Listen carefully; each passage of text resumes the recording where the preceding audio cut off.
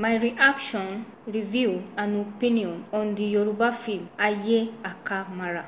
The film is very interesting, well presented. It's a suspense film, more of like a mystery film. All the characters in the film are amazing actors. They play their roles very well, but there are lapses. What are these lapses? Please continue watching to know these lapses. Also like, share and subscribe to this channel for more reviews. So the film Aye Camera started with a lady called Bibi and her house agent trying to rent a house. She was looking for house everywhere she and her agent but they couldn't get a house of her budget. She ended up getting a cheap house in an expensive estate after her agent convinced her to have faith. Madam, faith ìgbàgbọ́ ẹni faith. Even the landlord also told her to have faith. Have faith. Hmm? Have faith.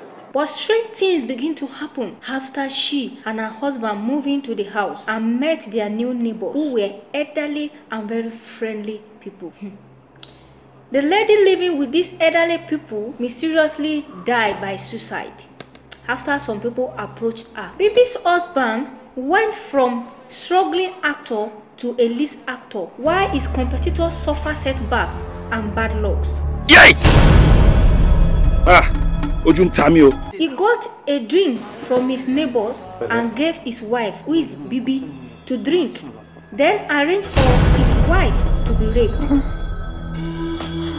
what is this? the wife got pregnant and was being attended to by the doctor who is also part of a cult member. Her former boss visited her but ended up dying mysteriously. Her sister visited her and encouraged her to be going to church and also to and also told her to always read Psalm 91 but still ended up dying mysteriously. To cut the long story short, she got a book sent to her by her former boss. The book exposes the activities of witchcraft. She now knew that her husband has been initiated into occult witchcraft. She tried to escape so she could have a baby with another doctor, which is her old doctor, but she did not succeed. The doctor gave her out. So she ended up having a baby with the occult member doctor and they kept giving her sleeping pills. To cut the long story short, she ended up discovering that the devil was the one that impregnated her because the devil wanted to be living with humanity according to them in the film. The baby had a burnt face. She tried to stab the baby but was stopped by the occult member. She ended up coming out on the front page of newspaper with the topic a woman tried to kill her newborn baby. They treated her like someone who had mental issues. That is to say, no one believes her so she suffered in silence. My opinion is that this film did not end well. It needs to have a part 3. Otherwise then, this film is a hopeless film. It's not for people who are passing through challenges, depressed. This is because the film